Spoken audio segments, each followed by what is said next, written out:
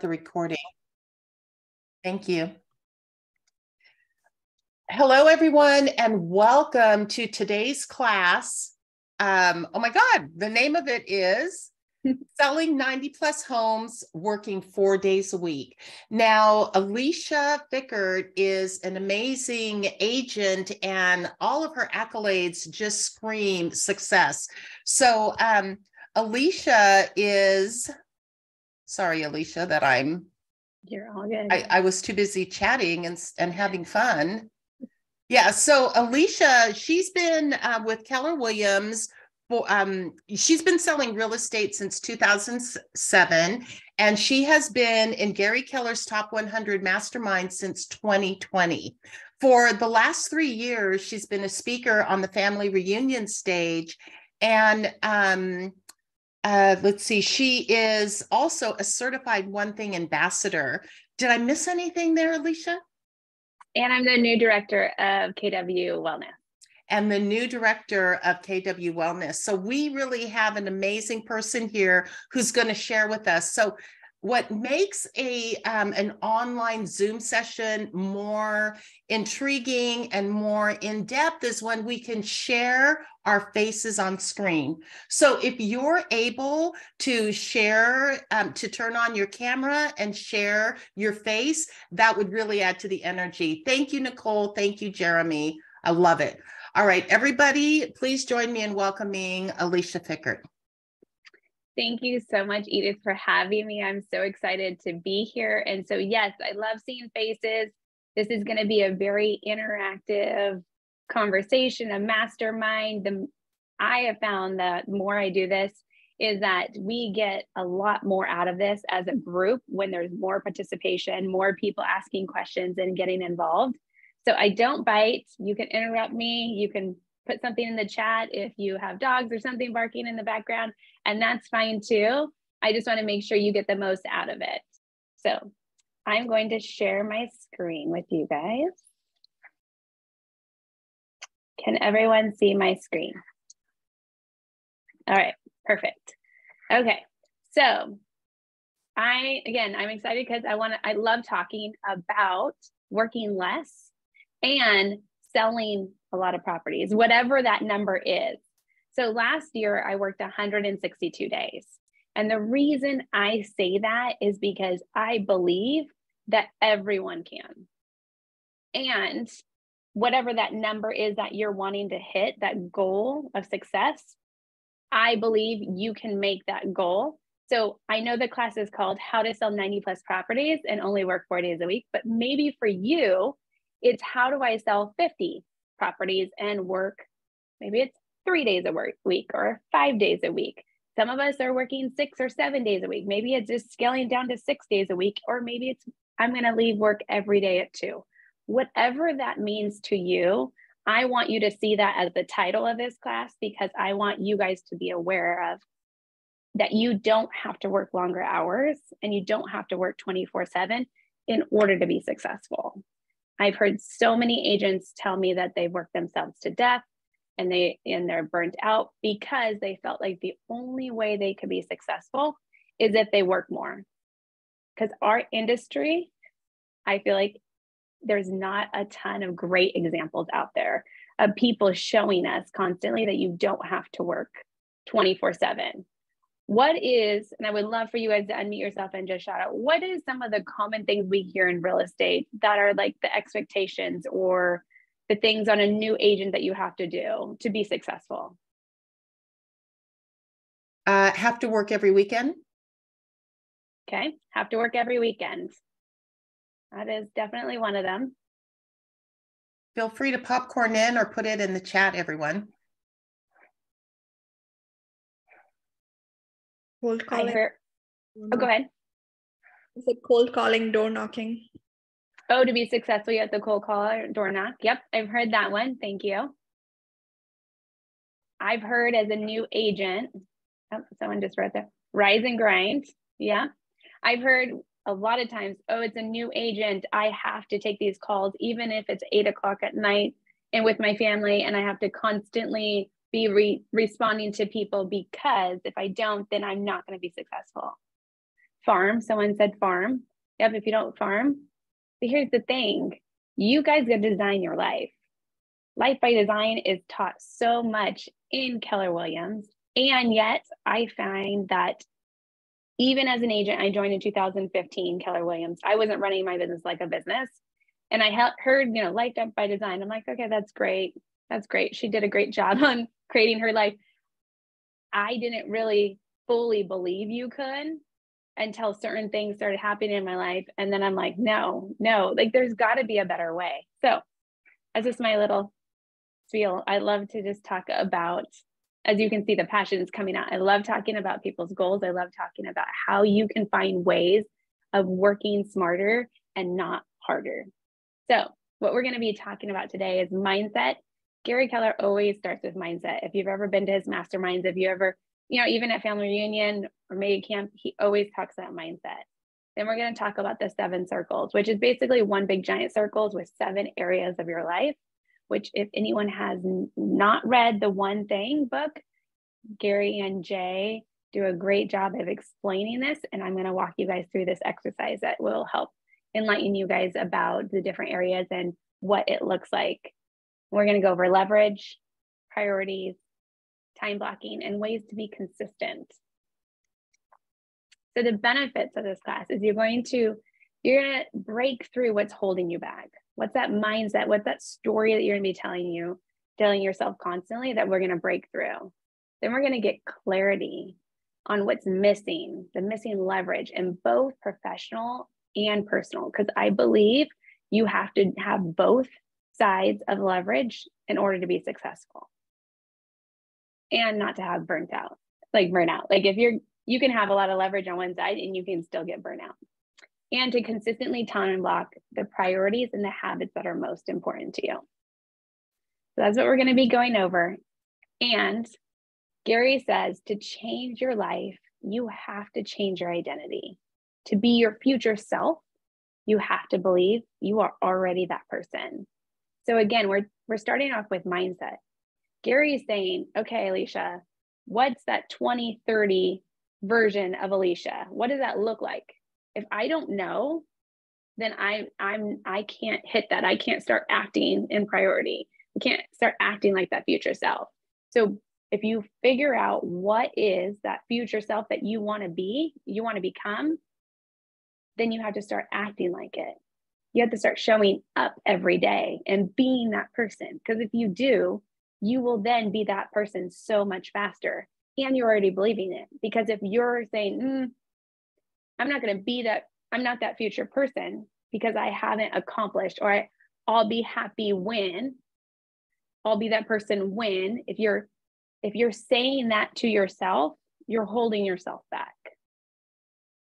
So, with mindset, I believe mindset affects every area of your life affects your attitude, affects your behaviors, which leads to your actions. And then you sabotage your own success. And it also sabotages your relationships. So, if your mindset is a powerful tool, how can you use it to help you succeed? And how do you know if you're self-sabotaging yourself? Like how, how do you how do you know you're doing that? Because there's so many times that you've created these stories that you tell yourself that you don't even know you're telling yourself these stories. So I will I want to share a story that I have that goes back way too far, back to my childhood. And it is about being smart. My family, both of my parents were not, they did not go to college. However, they're they're successful. They own three businesses. They're they are street smart is what they've always called themselves. So I was told my whole life, you are street smart, you're going to do great in life. I mean, they were trying to give me like positive affirmations. They were doing the best they could with what they believed, and that's what they believed. Then they would turn and say, We're not book smart. Like my best friend was book smart. She can ace a test, you know, read through a whole book in, in, in a day or two, and, and she was doing great. So they always constantly said, She's book smart, you're street smart, you're going to get by. So they're trying to encourage me. Well, that was great. And if the if the thought constantly is in my head saying, I'm not smart, I grew up my whole life thinking, I'm not smart, I'm not smart, I'm not smart. I'm street smart. I'm gonna get by. So yeah, I was I was street smart. I was gonna get by. Well, there was another component in there. I also had dyslexia, which I didn't know until my husband told me after being married for about three years. So right around 26 years old, I found out I, was, I had dyslexic. I just thought that I wasn't smart because I I didn't enjoy and I couldn't read very easily. And it didn't make sense. The words dance on the page, the words, you know, like mixed and they would change. And and it, it was it was a real challenge. However, if I stopped and challenged my story I was telling myself that my parents told me that then I then I took and go, yep, that's mine. I'm owning it. And then I stored it in there and then I tell myself myself, I'm not smart. I'm I'm street smart, so I'll be just fine, but I'm not smart. So if I constantly told myself that, it, school was very challenging. However, if I stopped and actually looked around, I got A's. So I did get A's, but that wasn't good enough because I was holding on to my limited beliefs so tightly. And my identity was I'm not smart. So I didn't want to let it go, but I didn't think much of it because it was just a story that kept playing. My husband, it took him 10 years to convince me I was smart. Like it just took me a super long time to realize no, I am smart, but I also had dyslexia happening and then had to figure out how to overcome that. And then now I am a reader. See, I always said I never read books. I'm not a runner. If you see me running, I'm running from something and you should be running. Like these were the stories I told myself. And now I run. I read books all the time. Last year I read 60 books, which is insane, insane, but I wanted to prove myself that I can read books and I'm smart. So circling back to what is holding you back from accomplishing success? So I want you guys to grab a pen and paper. I don't know if you guys are near one, but I'm just going to hold up my pen. If you guys can grab a pen and paper, I want to do an activity with you guys. And I'm just going to give you just a few seconds to grab a pen and paper. Maybe you have your laptop up and you can take notes. Great. I want to give you guys about four minutes, three or four minutes. And I want you to answer some questions. I want you to really dig deep. And some of these questions are probably going to take a little longer and you can come back to them. But I want you to be able to at least start thinking about these. So, one of the questions is what stories are you telling yourself? I know I already said that, but what does success look like for you?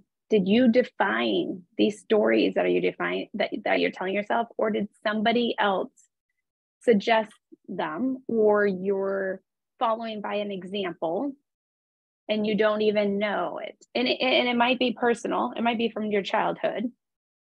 But looking at your identity and who you are and what you cling to so heavily might be something that you should challenge and look at and see if it really is something you should be holding on to. So what what's holding you back from growing your life or your business? Is there something that you're afraid maybe i mean I, at one point i was afraid of success and failure if it's possible but i was afraid of both going both ways and i just wanted to be in the middle and not too far one way or the other just be in the middle. Do you really believe you can create your life by design? So any questions before i have you guys just take about three or four minutes to write okay these are really powerful questions, by the way. Yes, that's why I said it. I, I every Friday I take thinking time for myself and I go to a coffee shop. I put my earpods on for thinking music and I bring the things that are most important to me. And if it's questions like this, I will answer them in complete silence and journal around it. So it might take another time, but I wanted to give you guys maybe just like three or four minutes just to go ahead and write. So yeah, thank you course.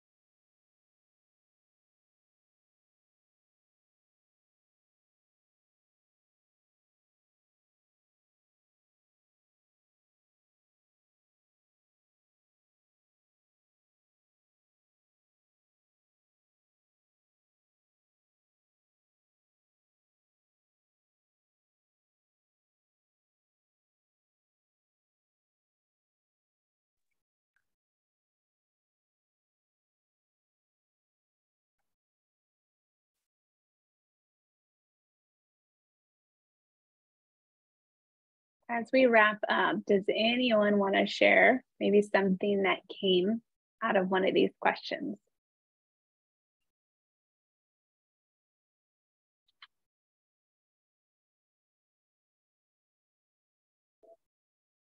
That's okay if not, because these are very personal questions. I could. Actually, uh, oh, go ahead, Edith. Oh, I'm sorry. Go ahead, Jelaine. You share. No, I didn't even get past the first question, but um, I, I stories I'm telling myself are somehow that ri- being rich is bad. Having money is somehow bad, or having a lot of money is bad. And then, um, am I even worthy of wealth? I question that. I have struggled with those as well. Have you? Oh, and I hate to suggest a book that I, I think I have it at home. Um, and I really don't love the title of the book, but it's rich as the F, F word. So um, that's the book. It's by I think Amanda something. It's I read it. It asked a lot of really good questions. There's a lot that I journaled through that book. Just a su- suggestion. And um, Thank you. But yes, thank you for sharing because you're not alone in that. I have heard that over and over and over.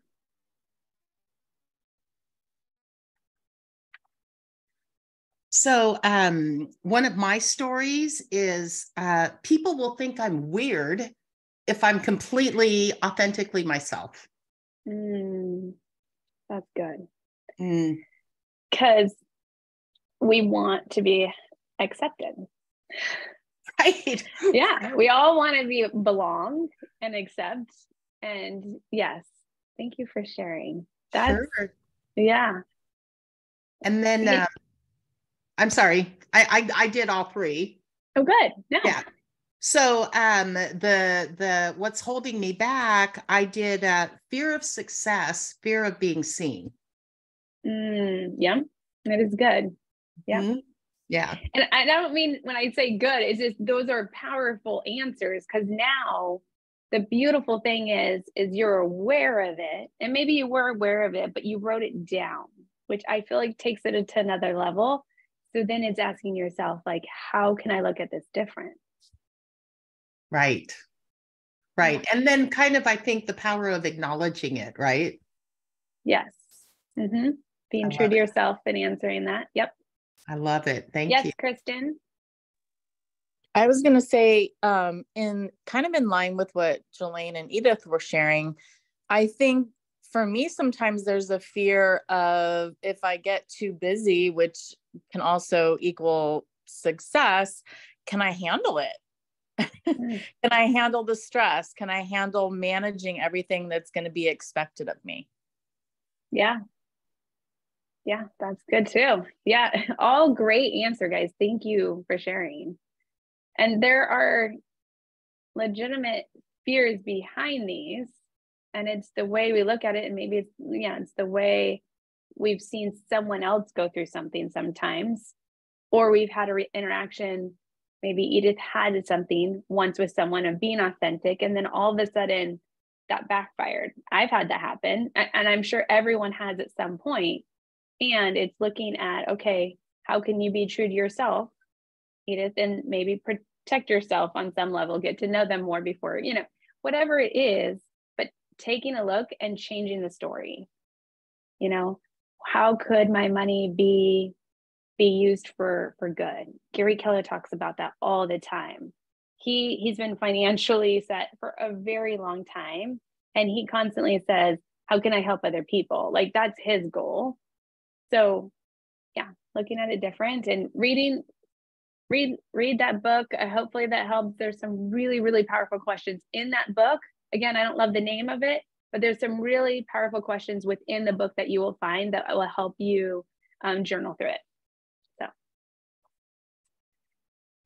okay, so the seven areas of your life. I want you guys to. I know you have a pen and paper because we were just using it. I want you to draw one big giant circle, and then I want you to divide it into seven seven areas.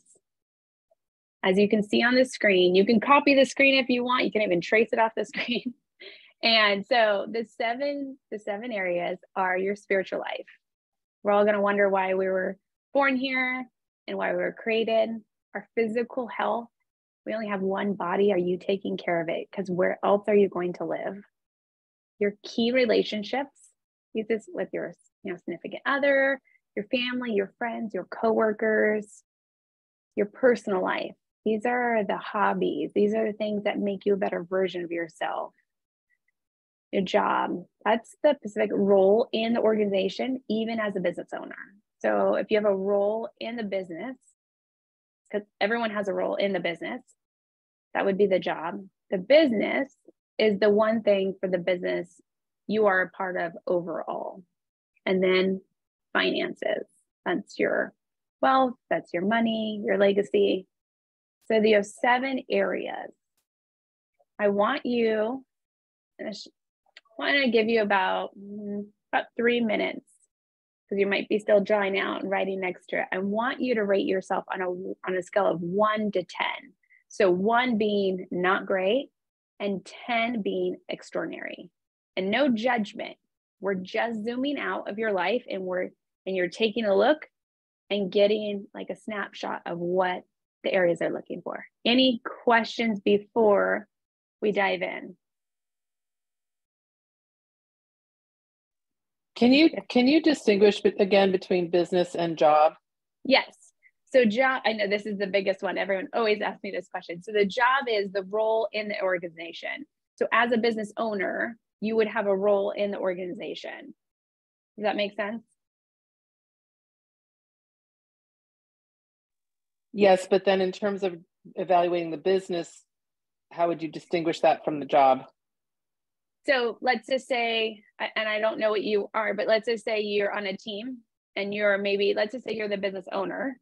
So if you're the business owner of the team, what's your one job? What's what's the job in the business that you are doing and how is that going? So it might be like okay you're the rainmaker. You you, you need to um, lead generate you need to bring in leads. Maybe that's what it is.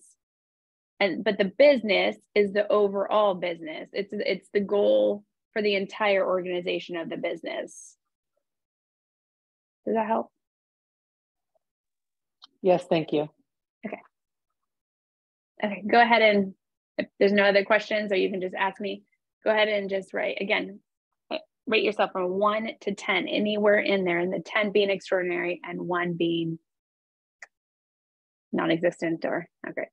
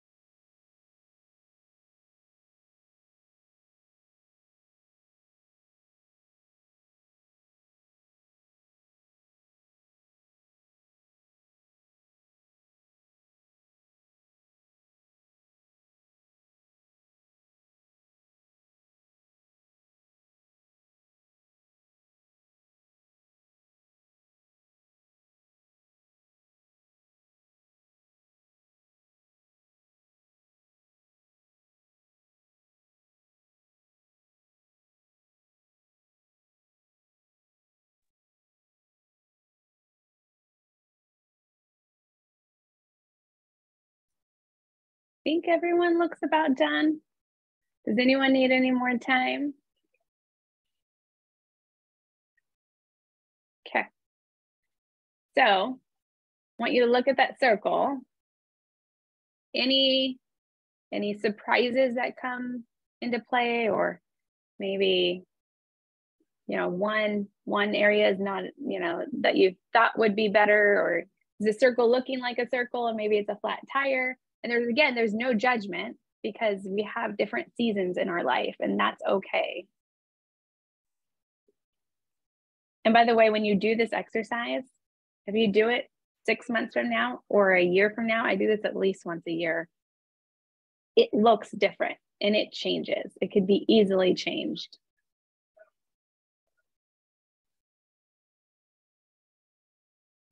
I would challenge you to look at this and, like Gary was saying, your future self. What would it look like for your finances to be a 10? What would it look like for your key relationships right now in your life to look like a 10? Even though, let's just say it's a four, or maybe it's a six, that's okay. But what is what does it look like to be a 10 in that circle for each area? We're not going to do that now, but for the future, I would challenge you guys to do that because then if you're wanting to focus on a certain area, then you would know, okay, this looks like a 10 and I'm a six and I want to I want to take it from a 6 to 7. Okay, then what's the steps? You work it backwards. You know, how can I how can I grow that area? And I want you to start thinking about uh, one area because we're going to do an activity and I want you to start thinking about one one area of this circle that we're going to focus on. Okay. So balancing. The reason I put balancing up here instead of balanced would then indicate that your life is balanced and we get to the spot that like you've accomplished it it, it's just like working out. I wish I could say like, yep, I worked out. I worked out um, for two years. I'm good. I've accomplished it. I'm exactly where I, where I want to be, and now I can just stop and I've arrived.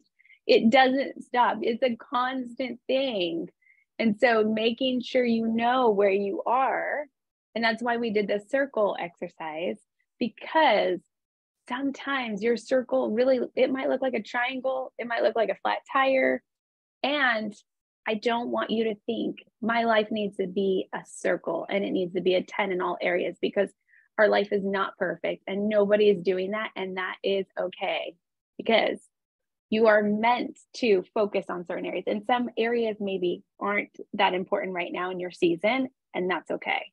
So we're going to take one and we want to build some leverage into that area. How can we take that area that maybe you want a better like for example personal life like what is what is something i can do my personal life that i can get leverage on so i i put up a couple ideas because i want you guys to think of leverage. And and i know i don't i'm missing a ton here.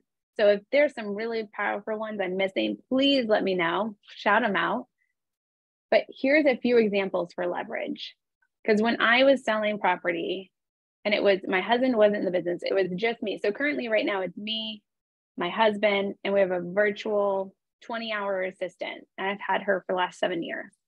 Before him it was just the two of us and we were so i don't know it was like 2019 we sold 94 properties and i was running around like like a chicken with no head seriously and i i got a bunch of leverage on my business side but I wasn't taking care of my personal side because I thought I could handle it all and I should do it all. And it just, you know, I'm a woman, I got this, you know. so I was leveraging tons of people in my office. I was, I, I got a couple agents in my office and I said, here's the thing. I can't be in two places at one time anymore. And I only work four days a week because my daycare gave, gave me the greatest gift by telling me they don't have daycare on Wednesdays for me. They're full.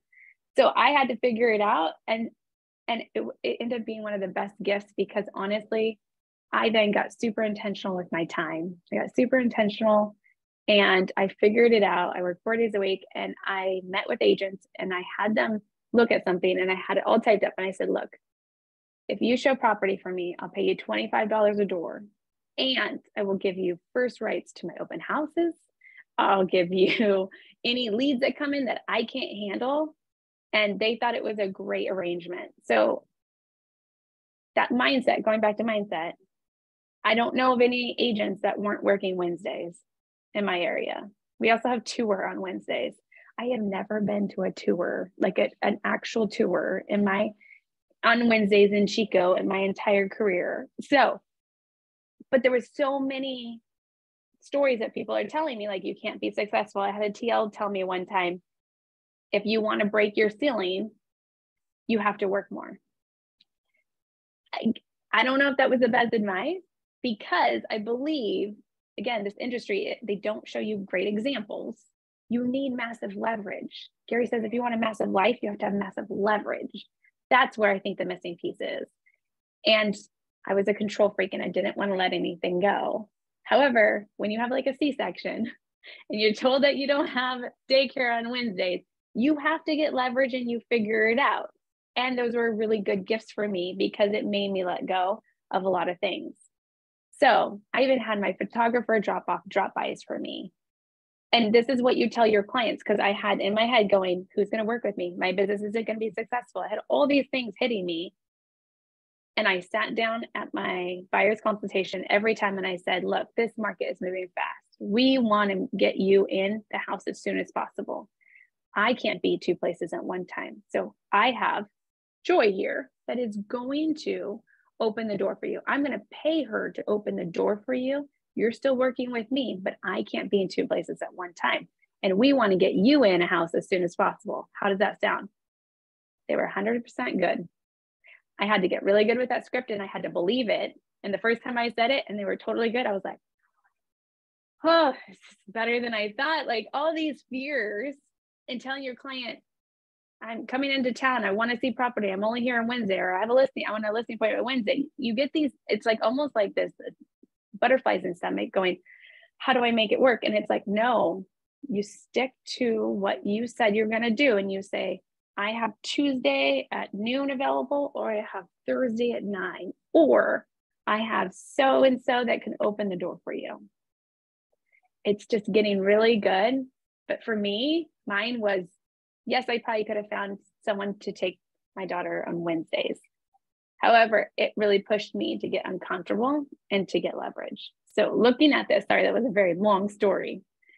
Looking at this leverage, what can you add? Because I am about to have you guys do an exercise of adding one personal and one business leverage in your life. So, I want you to start thinking about this. And am I missing anything? Can anyone shout at anything that they have that needs to be on this list?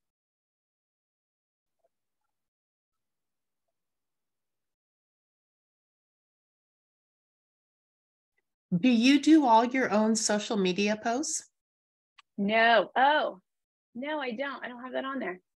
That's a good one. Yes, I have an agent in my office that is a new agent, and she actually does a bunch of clothing um, for Amazon. And she's so I pay her, I think I pay her like $450 every month, and she posts almost every day for me. So it's finding people, and I find that finding people in the real estate business is super helpful because they know what you're talking about, or a photographer or someone like that, like that you can easily hire. Okay, so now that we have this, I want you guys to get your pen and paper out again. I know lots of writing today. What leverage are you getting? And I want you to write two columns professional and I want you to do personal. So go ahead and write that.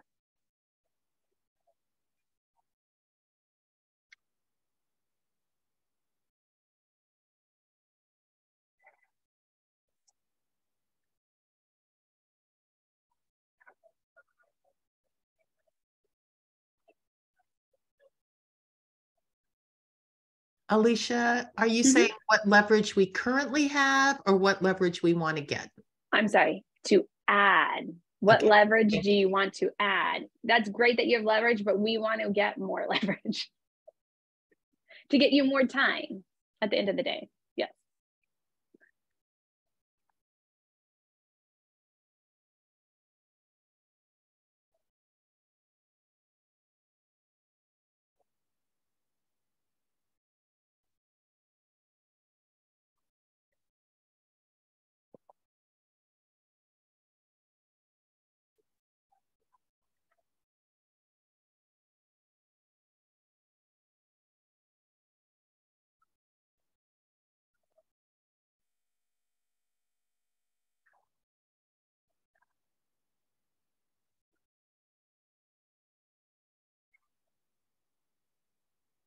Once you've written it down, I want you to add a date by it. By when will you be getting that leverage?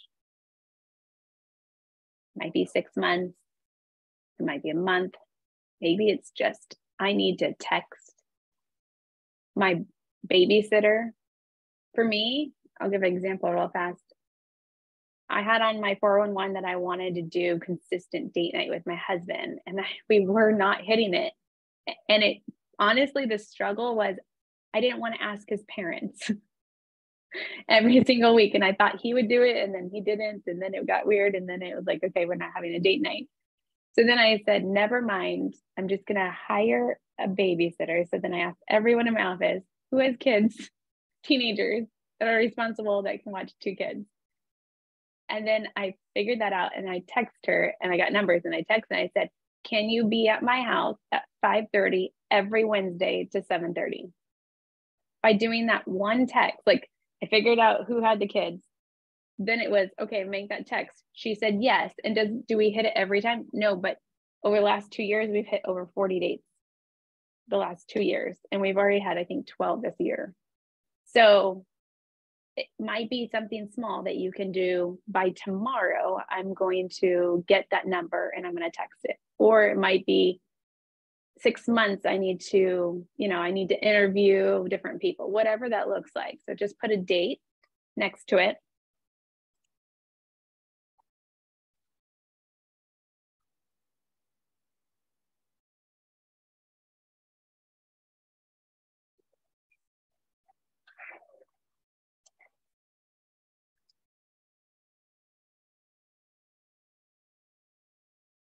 And the last question is for this activity is why is this important to you? If you can't answer why this is important to you, then you most likely will not take action on it. So then it would be going back to what leverage should I be getting so that it will, what will be important to you or your family or to your business.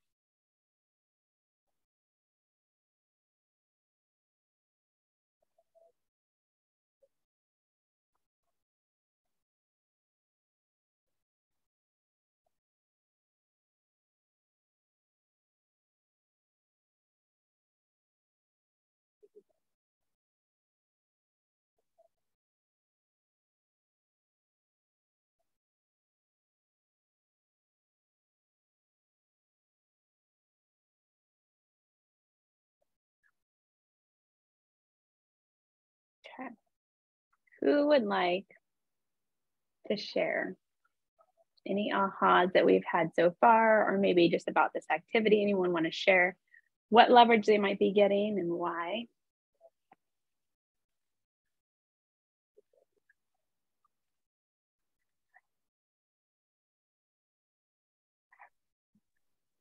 I'll share. Um, hi, my name is Kirsten. I'm from the Keller Williams Carmel uh, Coastal Estates. Um, I I jumped on late, so I missed the first portion. I came in just as you showed uh, the one thing book Mhm. and that first uh, slide, and then um, I really like. I kept for the business side. I kept uh, for a bookkeeper. I'm brand new agent.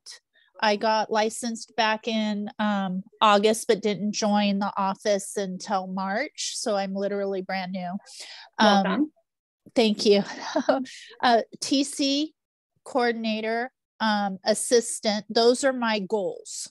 Those are my goals. On personal, housekeeper, cleaner, and cook. And those I would like by uh, uh, September of 23. So, um, yeah. Well, thank you for sharing, Kirsten. Um, it took me a very long time to get a house cleaner. I don't know why. I'm one of those people when I stay at a hotel, I don't want them to come in and clean. I don't know why. So that is so great that you have it on yours. And yes, a cook, having someone come prepare some meals a couple times a week. I am in the process of finding one right now and I'm super excited. So thank you so much for sharing that. Anyone else? We'll take maybe one more.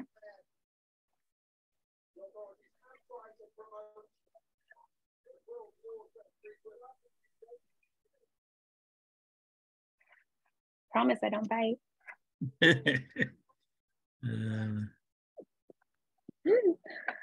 Oh, that's Actually, I I'm I'm thinking of um, potentially now that I'm an empty nester, I have a very big house with a lot of rooms, and I was thinking of getting an organizer to help me uh, potentially clear out Mm. some of these spaces so I can at least consider if I wanted to rent out a room um, Nice. in my house.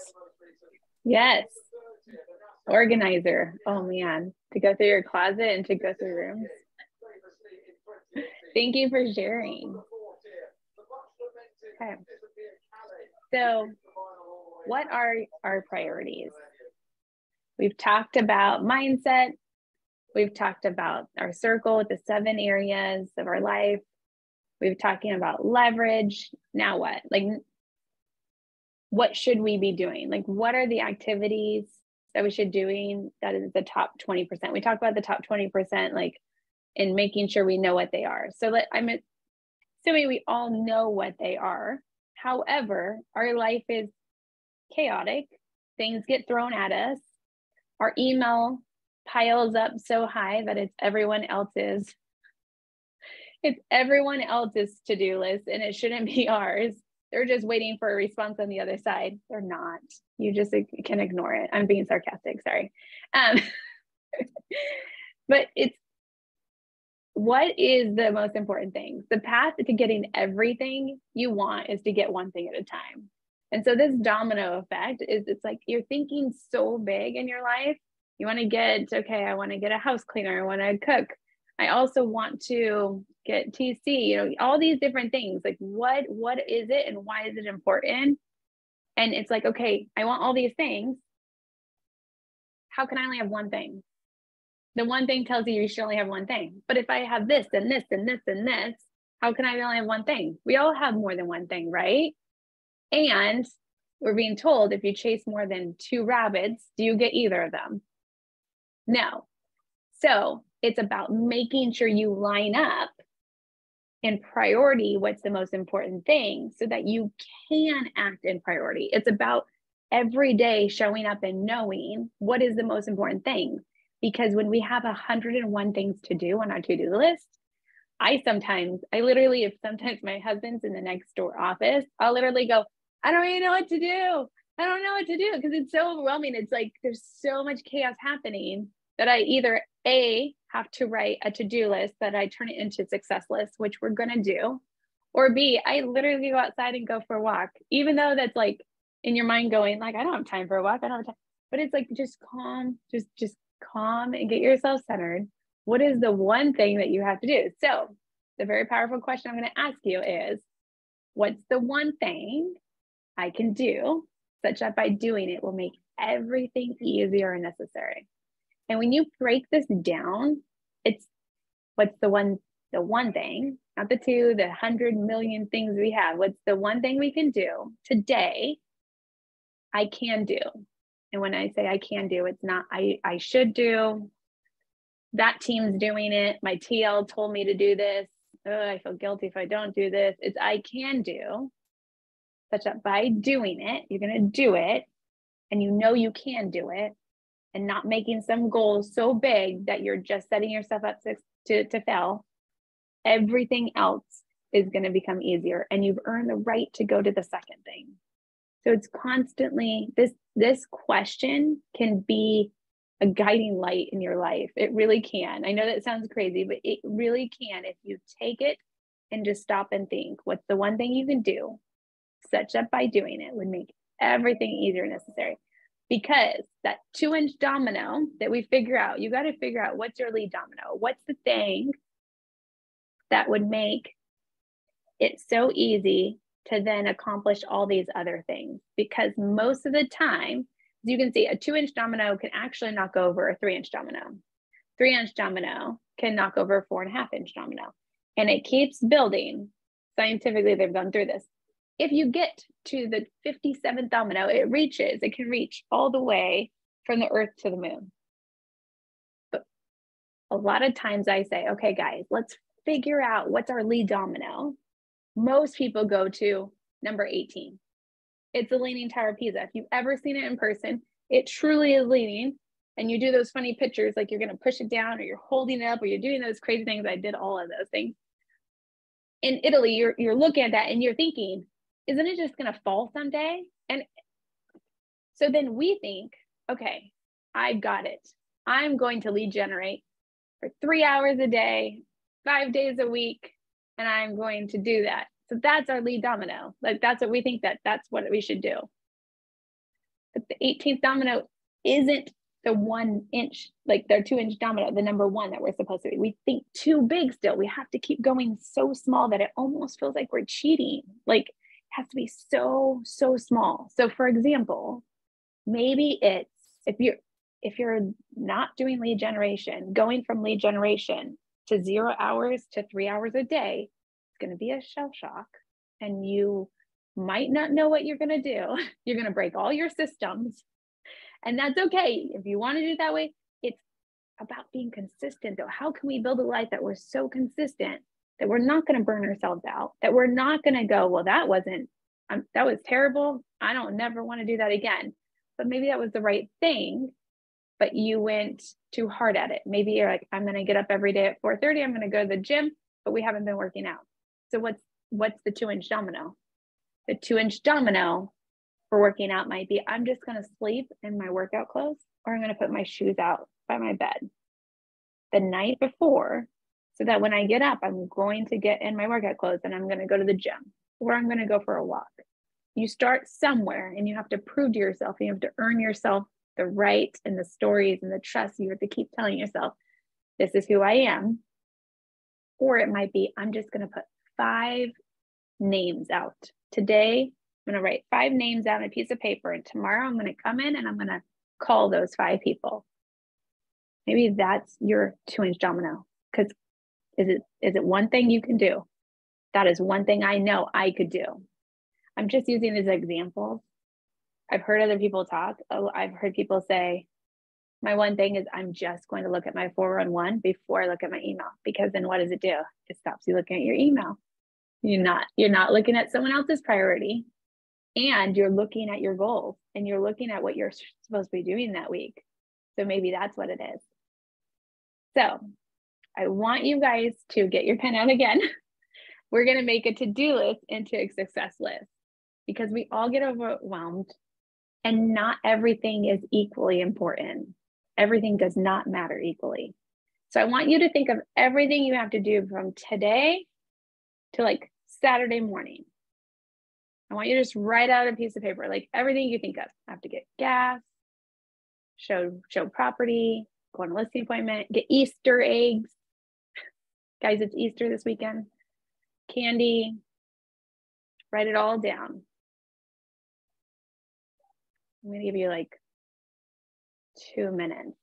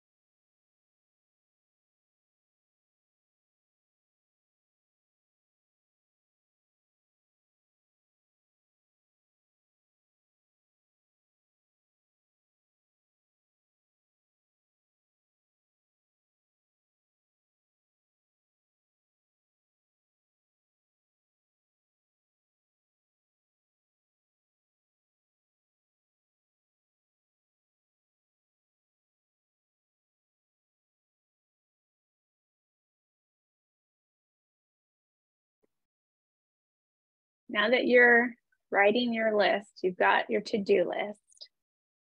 I want you to go through start at the top and ask yourself is this something I should do or could do? Is this my top 20%? Because the top 20%, the things, and maybe we just talk about you're going to have personal and you're going to have business, but it's right now when you get off the phone or off the phone if you get off zoom when you get off zoom like what's the number one thing you should be doing so find all the items and put a star next to the one that are the top 20% that needs to get done immediately. So the eggs and the gas aren't going to be on there unless you're going to run out of gas on the way to your showing. then maybe gas might be on there. So put a star next to all the ones that you should do.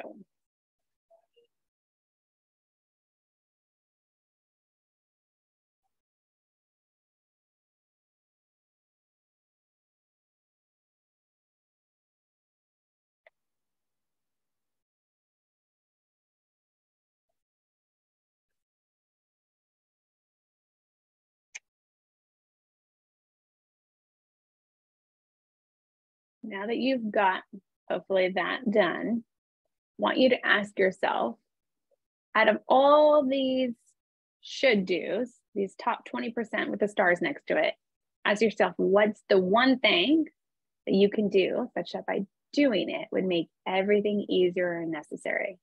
I want you to put a one next to it.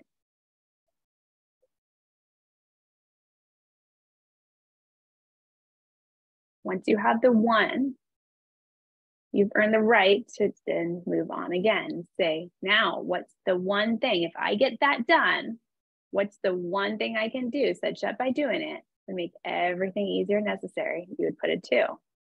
This question can be used so much in your life. It could even be like, I'm preparing Easter dinner. What's the one thing I could do right now? you know what I mean? Like it's just you're making a success list because you're you're weeding out all the noise and you're just narrowing down on what's my top 20%? What do I need to do? Thursday, what do I need to do when I get off this class? And you're just breaking it down. Because if you don't do that, it's so easy to go, oh, I'm gonna, I'm gonna order those brochures. I'm gonna, I'm gonna do a social media post. It's all these things that's like, oh, I love checking off boxes. And, and that's great, you check off boxes, but are we checking off the right ones? Because if we're focusing on just the easy ones, then at the end of the day, you have the big rocks that you haven't even dealt with that should have been the first things that you guys went after. Because if lead generations at the end of the day, I have found by the time the end of the day happens, you've lost your energy or something else pops up. So if you put it at the beginning of the day, if something happens, you can at least try to get it by the middle of the day. But by the end of the day, I find it's out the it's out the door or I'm out the door. Before we move on, does anyone have any ahas, anything they want to share that they've got out of the class so far?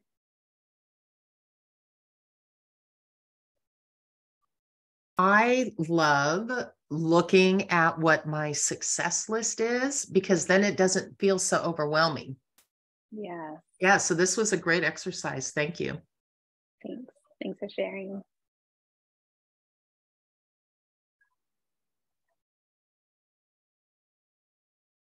Can I just ask, did anybody did anybody find something that like like did anybody feel that it it it made a big impact too like for me?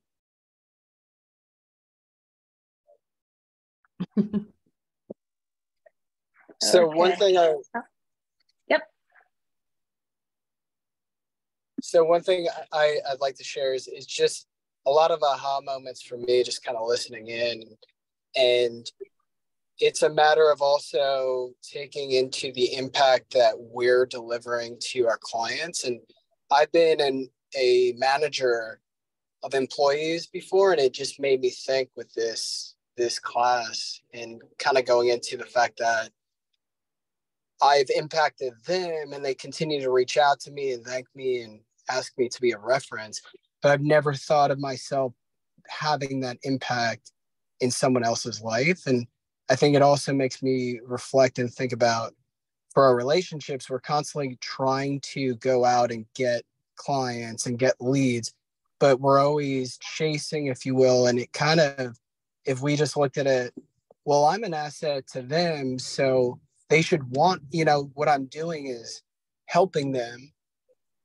If we kind of take that other reflection and the other way of looking at it, that's what this class has been able to do for me. So thank you. That's great. Thank you, Stephen, for sharing.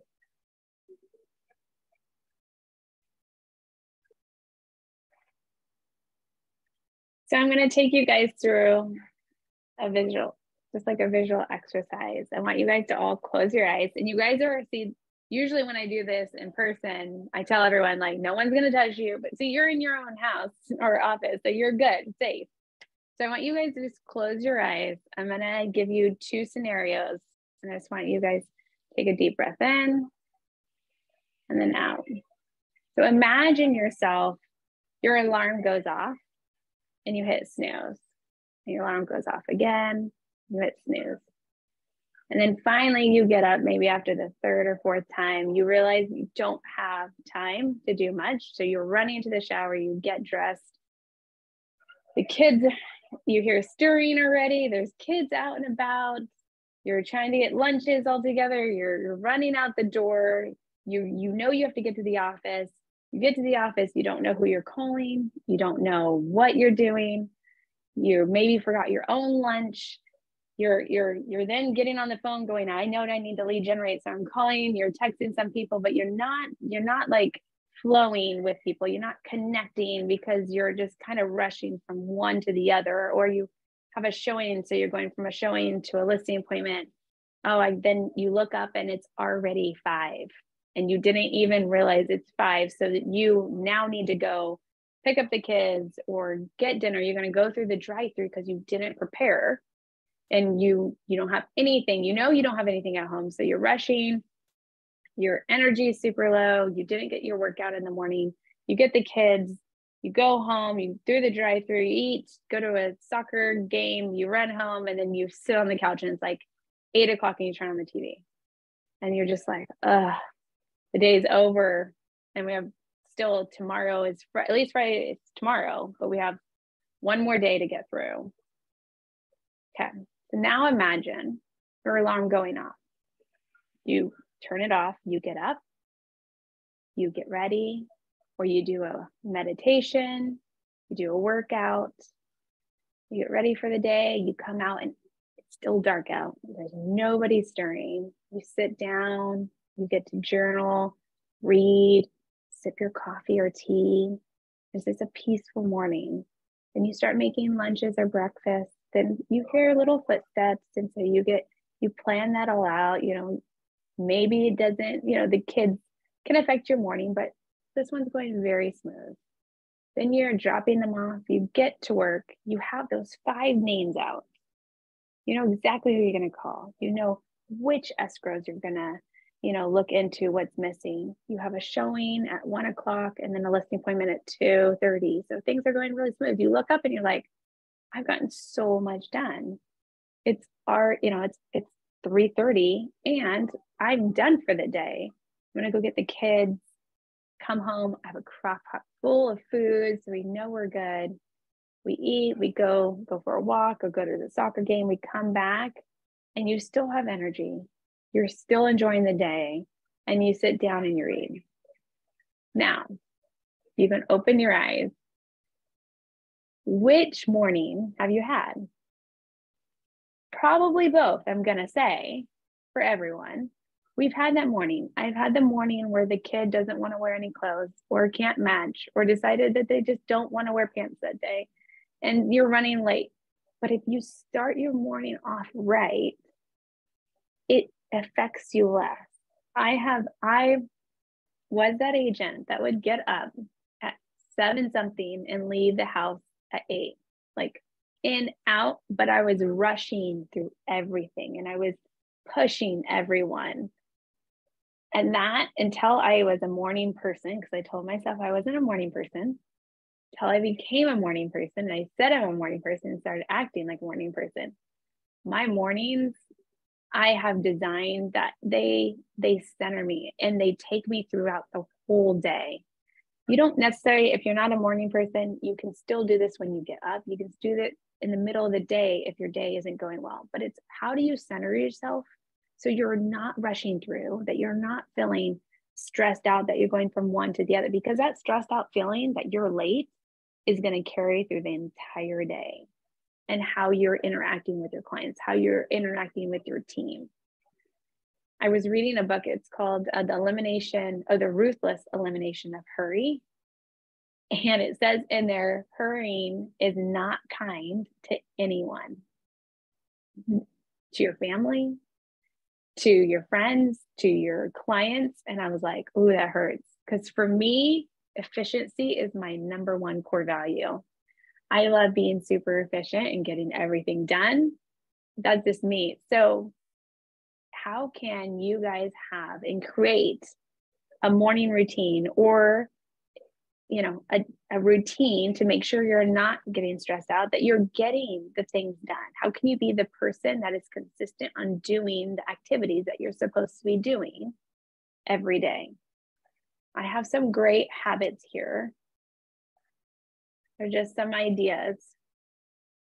Um, if you haven't read the book um, morning miracle the morning miracle for real estate agents is a really good one he talks about the savers, which talks about like silence and affirmations, visualization. Um, it goes over like the exercise. So good. If you want a morning routine or read about a morning routine, that's really good. This is one that's really, really good. And another one that's really good is called the 5 a.m. Club. That doesn't mean you have to get up at 5 a.m. I read the book and I did not get up at 5 a.m. I get up freakishly early a couple days a week. And then other days I don't give up, get up as early. So these are really good books. The 5 a.m. It's by Robin. And then um, so the ruthless elimination of hurry. If you are like me and super efficient and want to be super efficient, this is another one that I've read and it's really good. So looking at this, creating great habits, it takes about 66 days to create um, you know to build a habit. And i'm sure you've heard of the 66 day challenge that they the one thing does and kw does. That's a really good one to build a great habit. And i know i have so many books. Sorry. I'm super i love books. So um atomic habits if you want to build habits this book i've read it multiple times james clear is so brilliant. You can even just follow him on facebook and he puts things out there all the time. He is so good about just talking about for example he wasn't flossing and one way. It's like what's that easy little thing that i can do with habit stacking? So you brush your teeth in the morning so in the morning he would take his um, his pick to floss and he would put it and maybe I'm saying this wrong, it was in a drawer and he moved it and he put it on top of his toothbrush. So when he came home, like he knew he was going to floss, it's right on there. That small little habit that he did of just, again, that's a two inch domino, that small little thing of just switching it. He then has become a flosser. Like he flosses all the time religiously. Mine, like I said, I use the the date night one. So what's here that you guys can do that can you can build the habit? So we've talked about leverage and we've talked about like different things that you can do. So what on here can you add? And maybe it was one of the things that you were focused on one of the areas of your life. How can you make it a habit if it's that truly important to you why not create a 66 day habit around it and here's the caveat i'm going to say most people think that if you go on this journey, it feels really restricted. It feels like I don't, I, I, I don't like doing this. I had this conversation with my husband last night, actually. His thing with the six six day challenge was he goes, but I, I don't feel like I can be flexible, and maybe I, maybe I don't want to do it one day because I'm uh, we're on vacation or something. That's okay. If you're creating a habit around work, I work four days a week. I'm going to do those habits every day I'm working. So if I'm putting out five names the night before, I'm not putting out five names on a Saturday night, right? So it's making sure you understand that you would then count 66 days of just those days. If you missed one of them that landed on a Monday, then you'd put an extra. You don't have to start over. It's okay to miss one. It doesn't have to be perfect. It's just making sure you're acting in in priority making sure that you're building this. Because at the end of this, you want to feel if you missed it, let's just say you missed something, you want to it almost feels off. Like you feel off. Like oh i didn't i didn't meditate. I didn't read. I didn't pray whatever it was. I didn't journal. I didn't go on an exercise. I didn't go for a walk it feels weird that's you building a habit it doesn't have to look like perfection drinking water would be something you would do or making sure you get seven hours of sleep every day that is something you can do every day but if you're picking something that's not then you i hope that makes sense you would just do it on the day. So looking at this list, I would love to hear from you guys. What habit are you wanting to create? And maybe is it that two inch domino? Or maybe you guys have something in your mind that you want to do, but maybe it's the 10th inch domino, or maybe it's the 10th domino, or maybe it's the 18th domino. I would love to help you get to that two inch domino. So, would anyone be willing if you have any questions or help getting to a two inch domino, I would love to help. You can unmute yourself or put it in the chat.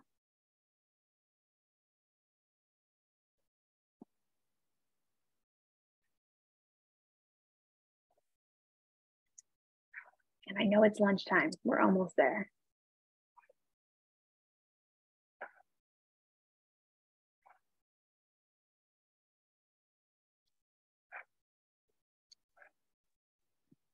Alicia, hi, it's Jelaine. It's Jelaine again. Um, what you said about the lead generation habit, mm-hmm. I think I've always, I mean, that's always been the, the number one domino, but I never looked at it as that it's, it's in, what did you say, a 10 inch domino, not a, not a one inch? Yes. So if, if you're, well, it depends on what is your goal or what the activity is. So if you're saying three hours a day, so give me an example of that. And I can say where probably roughly is landing.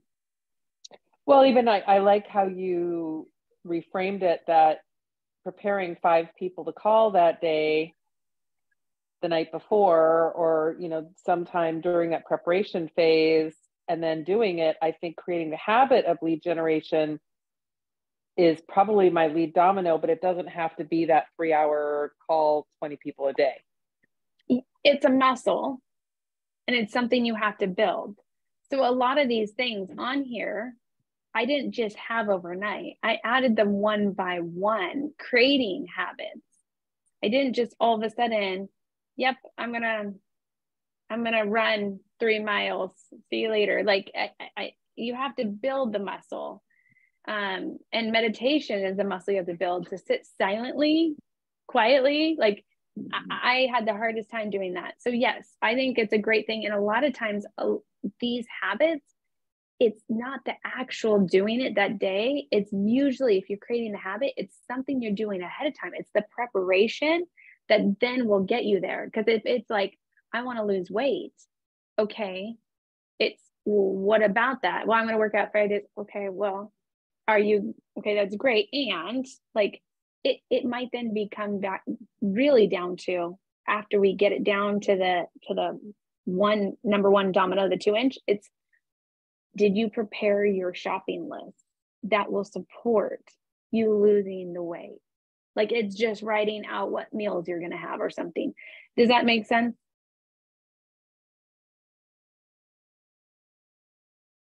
I think I lost you. Yes. Okay.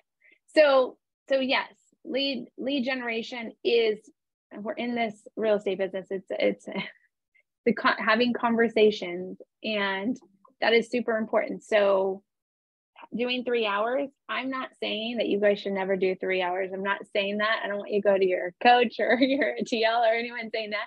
What i'm saying is if you don't have the habit at all this is a way to start the habit. And it's an and it has to feel so easy or you're not going to stick to and you're not going to be consistent because consistency in this business is key and that's what you want to do. So maybe you're lead generating maybe it's 30 minutes for the whole week or maybe it's an hour for the whole week so maybe it's i'm going to do 10 maybe i'm going to do or I, I used to do when i first got into lead gen i wrote two cards I made five phone calls and I and I think it was like five. I tried to like either text or Facebook or comment on five things. It was like five, five, and two. And I knew it was something I could do. So I committed to that. It's starting somewhere and then building from there. Because once you build that muscle and you know you can run three miles, then you're probably going to be able to take it up to four to five. And you're just going to keep raising it. But start somewhere that you will be able to be consistent and sustain it. Thank you. I think this is such a great list and I have so many things on here that I want to like create the habit for like working out, getting up early, drinking water, no screen time before bed. I know that I'm working on sleeping 7 hours a night solid. So mm-hmm. um yeah, and I love that you put lead gen as a habit. Well, it's a habit. Yeah. Because right. I mean, I, I think it's a habit because it, it feels awful at the beginning. And so it's it's creating the habit, but it's also that self-talk. So yes, I I think lead gen is a habit. Yeah, and I love putting it I love that you put it in that perspective because, you know, so often we look at lead gen as like, oh, this is a time blocking thing, this is a task, this is something that, you know, it's my one thing, right? Mm-hmm. But it's like putting it into a habit kind of like brings it into more reality and, and a great perspective. Thanks. Thank you. Yeah. Sleep is a big one, especially with wellness. Getting enough sleep is super important. And a lot of times when I hear people say like, "Oh, I just want to get more sleep," I I'm I have no energy by the end of the day. A lot of times, again, it's starting way earlier. It's no screen time, no no you know lights because that keeps you up, and it, it might just be like I'm going to stop the screen time. I'm going to turn everything off at eight o'clock or nine o'clock and give myself like whatever that is. I used to stay up until midnight every night and now I don't because and I kept telling myself, I have insomnia. I just sleep. I just I just can't do it. I think it's been three years. I do sleep meditation at night. Every night I pray, I lay in bed. Well, actually it starts before that. Like I make sure I'm in bed by like nine between nine and nine thirty. I want to be in bed, and I haven't had any screen time or very little screen time if I look at my phone or whatever. A whole hour before that, so it starts like earlier. But to get to that, it took me a long time, and I kept telling myself, "Oh, I I'm a night owl. This is who I am." Like and that's great, but when you have your alarm set for 3:55, like I said, I get up freakishly early on Fridays and Mondays because I go to Orange Theory at 4:30. So that will help you. Again, I put really big barriers in my life to make sure I'm, I'm accountable. Like my son does not have after school program, and I have to pick him up by two o'clock every day now. So it makes me leave the office. I leave the office by two o'clock, and I'm only working four days a week. So you just keep putting barriers and getting uncomfortable with them. And yes, do I do I take a phone call at night or do I do? Yes, I, of course I do. And when my kids were sleeping at nap time, I would get on my computer and I'd email if I wasn't taking a nap with them. But it's just like you have different seasons of your life, and that's okay. I have an agent that loves working at night. That's great. So, how can you make sure you're balanced with your whole life? How can are balancing like your family life? Or maybe you don't have kids. That's fine. You're your significant other, I'm sure, wants to spend time with you, or your kids if they come to town. So, what does that look like to you? So, it's creating great habits and putting it on a four and one. I am a very strong believer in 411. If you don't have a 411, it's not basically a math equation, it's a relationship, is what I would challenge you to think of this form. I saw it very as a transactional thing and I broke it down mathematically when I first started using it. And that's not how it's meant to be used. I'd be like, okay, I want to sell 50 homes. So then, okay, every month I have to sell this much. That means I have to, you know, like go on this many appointments. And that's what we did. So I'm like, okay, three appointments every month or four appointments. That's not having a relationship with it. Having having a relationship, especially having a personal side, I find is very, very helpful. It's like, why do I want to do that? Why am I want to sell that many properties? Well, this year we're going to Europe for 33 days. So it's like, okay, we want to fund our life by doing this. So this is going to make us to get to this. Uh, you can download this form actually at the one thing. Um, if you go to the one thing, there, there's that, but there's also um, my KW. I think there's the forms. Edith, do you know if it's my KW or is it um It's like the one thing, and I know it used to be called like Productivity Warrior. Yes. Well, it's pro- productivity. Yes. Uh, I'll find it while you talk. okay. I was gonna say it's also I'm pretty sure in like the back end of command somewhere too. Like I'm pretty sure they have all these forms, but also the one thing um, definitely has this. So basically, having a relationship, breaking it down and not making it equal is is very important because it's Gary will say, would you rather be winning or losing at halftime? Well, winning. So if you take it and divide it mathematically, it doesn't make sense. And you have to pull out a calendar for the whole year to make sure that you're going to act in priority. So if you say like, oh yeah, I'm going to I'm going to lead generate this many hours and you look at it and honestly I've looked at it some months and I'm like, oh, I'm only in the office 10 days. Okay, so if I'm only gonna be in the t- office 10 days, like look at the whole year because there's going to be some months that aren't going to make sense. So definitely, oh, Carlos, I think got it. Maybe there's a spreadsheet. Uh, if you did, thank you. If you don't have a 401, there's a 12 week year. There, that's a book as well, but a 12 week year basically takes your one goal, breaks it down into four parts, and, and then you have one week after every quarter to reflect on building it. And it's kind of cool because you also can break it into three sections. So for me, I've broken it down like God, family, business. I've broken it down versus um, business, family, and me because I want to make sure I'm pouring it into myself myself as well. And so it was like exercising and doing different things like that. Another great accountability is having a mentor or coach. So those are super important. I'm gonna there's no questions, I'm going to dive in. We only have a few minutes left, so I'm going to dive in a little about wellness. No one has any questions or ahas about anything we've talked about. You can always interrupt me. Here's a um, basically it's a Linktree to KW Wellness. It's our new community within KW. If you haven't heard about it, we have seven pillars. We focus on the first three are the most important ones that we focus on, which is your physical, your mental, and your emotional. In this business, we know we're running ragged. We know it's we have there's a lot of emotions. We also focus on social, spiritual, environmental, and occupational. If you go ahead and scan this, it will take you, there's a bunch of resources there.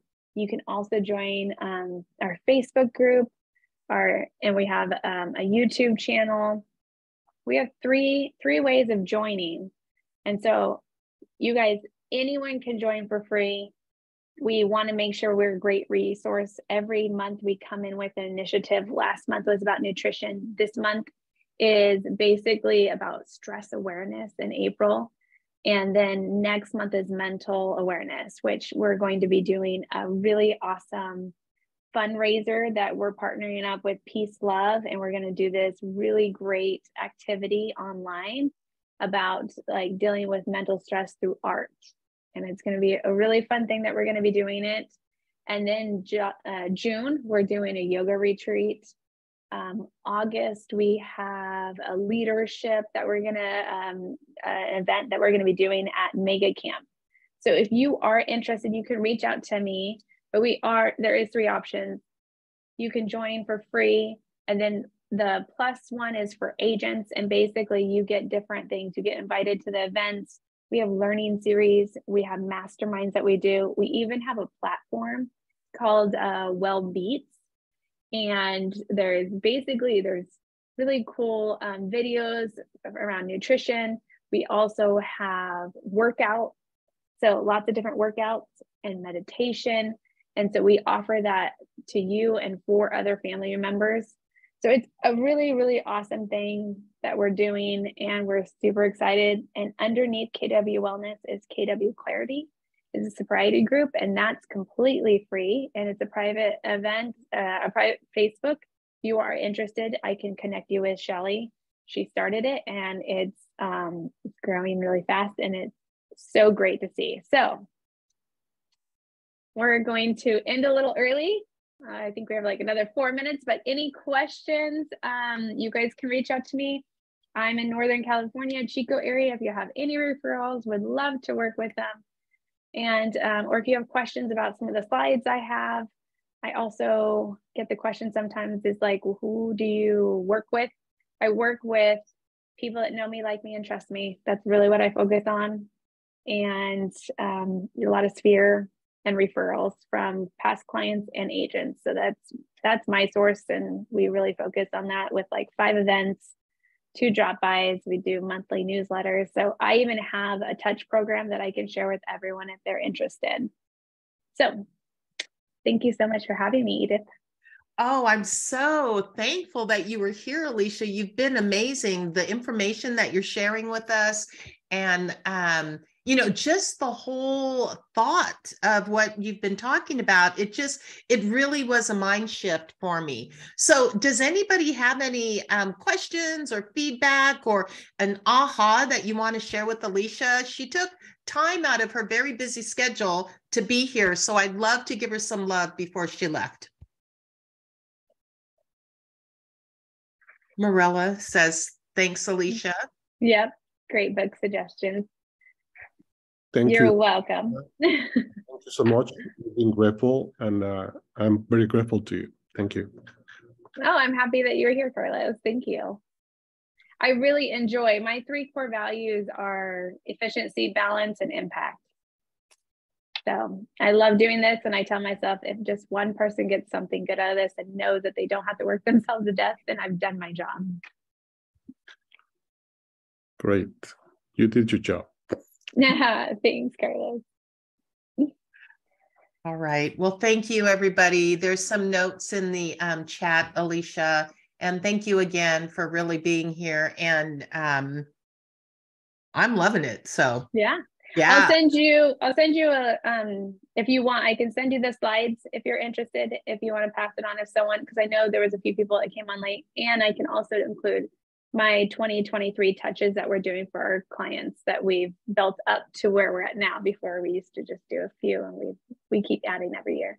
Yeah, if you could share that with me, that'd be great, and I'll make sure Yep. everyone gets out. And then also, if anybody wants to join the K um the KW Wellness Facebook group, just let me know, and I can invite you into it. All right. Sounds Okay. good. Thank you, Thank Edith. you. All right, bye, Alicia. Enjoy your four days and three days off. Thank you. Okay, bye. Okay, bye. Thanks, everybody, for being here. Have a beautiful day. Thank you, Edith. Thank you. Bye bye. Thank you, Edith. Now I'm You're in your welcome. group, okay? Bye. What? Now I'm going to be uh, listening to you from now on. That's right. I All right. Um